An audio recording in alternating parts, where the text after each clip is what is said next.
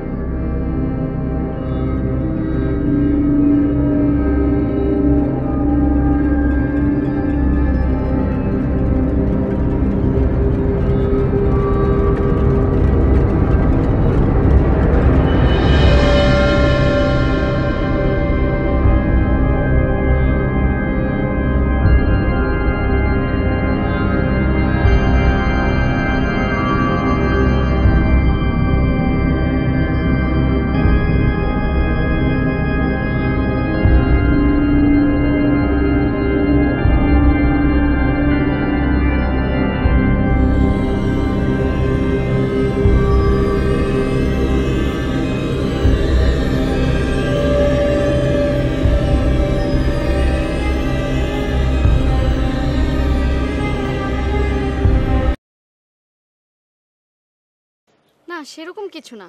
কিন্তু আমার কেমন যেন একটা আর কেমন যেন একটা মনে হতে হবে না। চল আমরা ভেতরে যাই।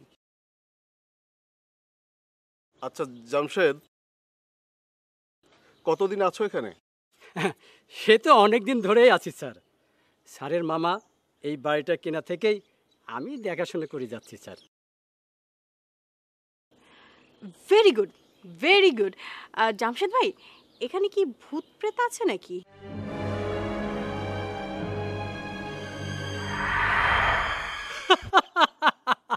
কি যে বলেন ম্যাডাম এখানে ভূত পেতনি আসবে থেকে না মানে এমনি আর কি একটু জিজ্ঞেস করে নিলাম for safety YONO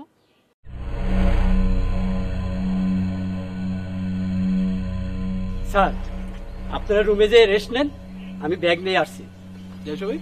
Please sir. আপনি আগে যান।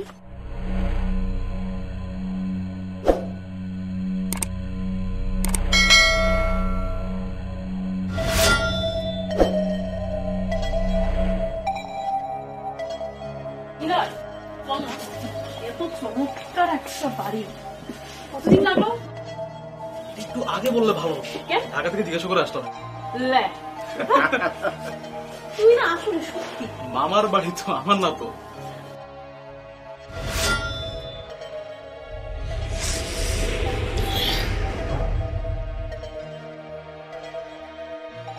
বলে না? মামার বাড়ি মধুর বাড়ি না কি কি জানি সব বলে না হারাহারি? না না ওই যে কিলচর নাই ওটা বলে। Okay I don't know I don't know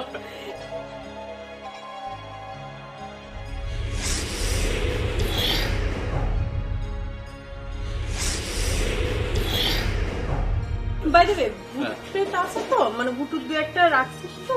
আহ, মিলি যখন আসছে তখন দু একটাও ভাগবে তাই না? তিনটা আছে। তিনটা আছে। তাই? হ্যাঁ।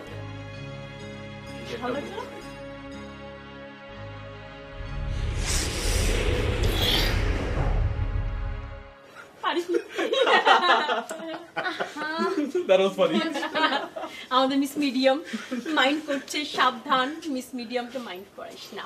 পরে দেখা যাবে যে তোদের উপর ভূত আয়না বজায় রাখবে। আচ্ছা। প্লেসটা সুন্দর না? আই মাস্ট সে ম্যান আমাদের প্রত্যেকটা ভ্যাকেশন এখানে করা উচিত। ইভেন ভার্সিটি সবাইকে নিয়ে এখানে আসা উচিত। লুক এট দিস লেক আছে সব কিছু আছে। এখানে। সিরিয়াসলি অনেক বিউটিফুল জায়গা আমরা একটু রেস্ট নিয়ে আমরা একটু বের হই একটু সাইট সিইং করি একটু মজা হবে হ্যাঁ? এক্স্যাক্টলি আমরা ওই পাশে রুমটা নিচ্ছি। ওকে গার্লস টাইম তাহলে আমরা এদিকে এটা হয়ে। ওকে ওকে চল।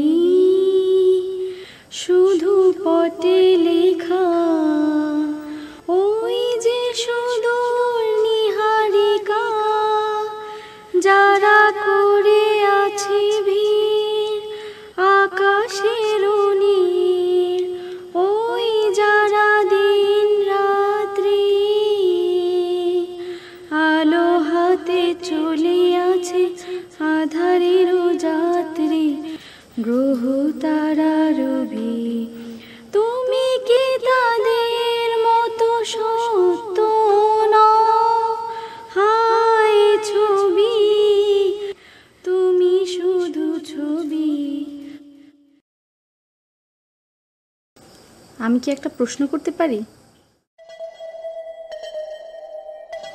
খুবই ইম্পর্টেন্ট প্রশ্ন।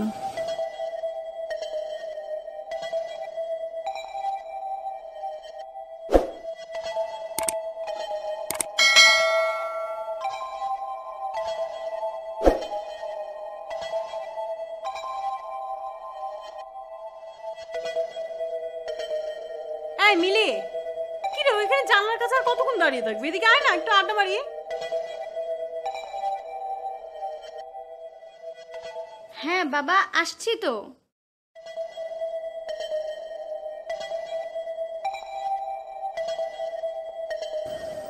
আচ্ছা মানুষ যখন মারা যায় তখন কি খুবই কষ্ট হয়? মিলি প্লিজ এদিকে আয় না।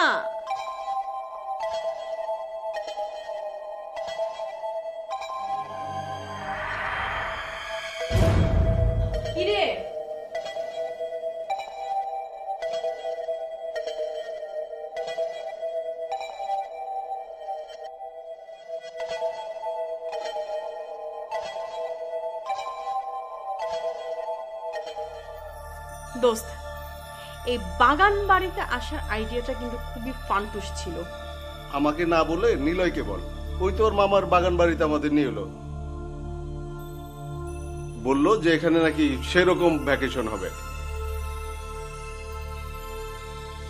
এমন একটা ফালতু জায়গায় তুই নিয়ে এসেছিস যেখানে দশ মাইলের মধ্যে কোনো জনবসতি নেই। ও তো ঘুরতে যেতে হলো দশ মাইল হেঁটে যেতে হবে। আরে আজিব তো। Sorry my lords and ladies ভুল করে ভুল হয়ে গেছে। আমি আরও মনে করেছিলাম তোদের এখানে এসে ভালো লাগবে। এখানে তো দেখার জিনিসের কোনো অভাব নেই। সামনে একটা লেক আছে, তারপরে পাশে বাগান আছে। দেখার জিনিসের কি অভাব? ব্যাস, এতেই হবে। তুই জানিস না? ওকে দিনে তিনটা হিন্দি ফিল্ম না দেখাতে পারলে ওর রাতে ঘুমই হবে না।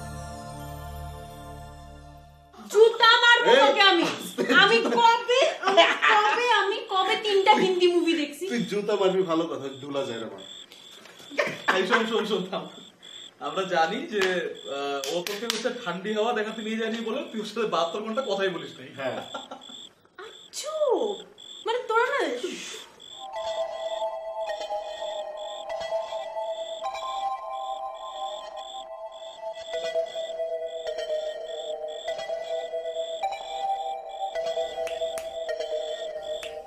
এই যে মিলি।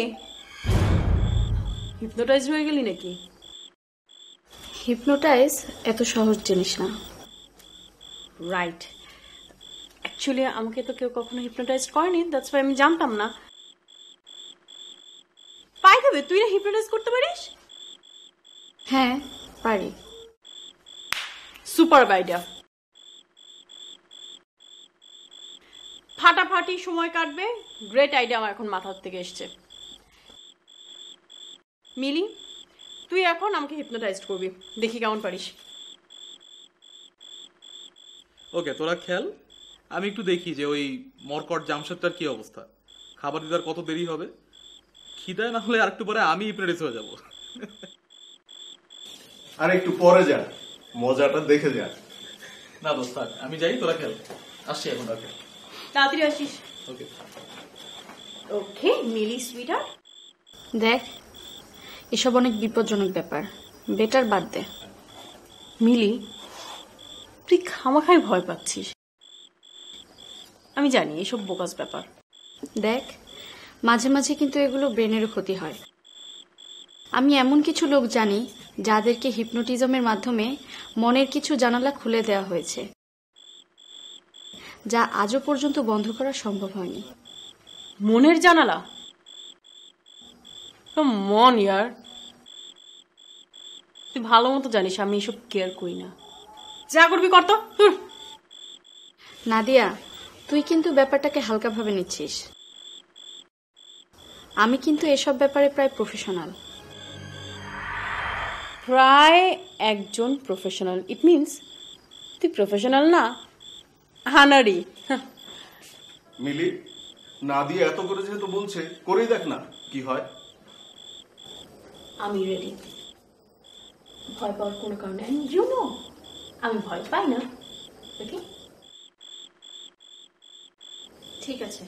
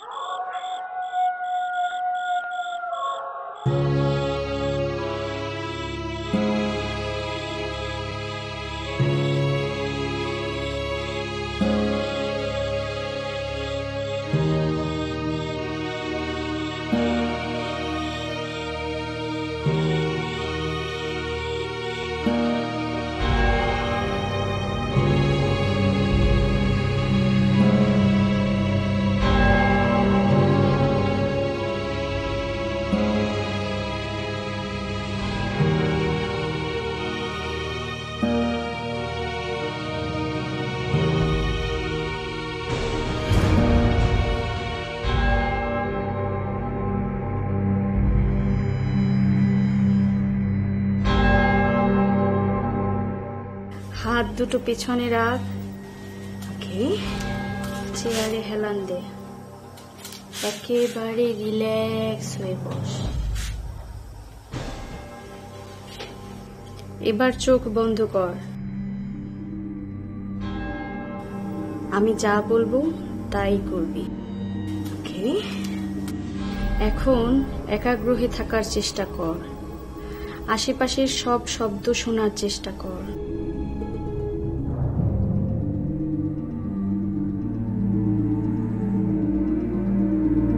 আমি চাই তুই মনে কর যে তুই একটা সিনেমা হলে বসে আছিস।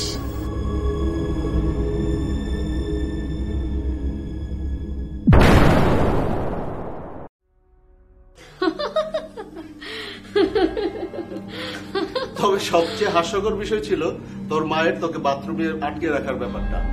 তোকে নাকি মাঝে মধ্যে বিনা কারণে বাথরুমে আটকে রাখতো। আর তুই সেটা আমাদের কাঁদতে কাঁদতে বলছিলি। তোদের খেলা হলো?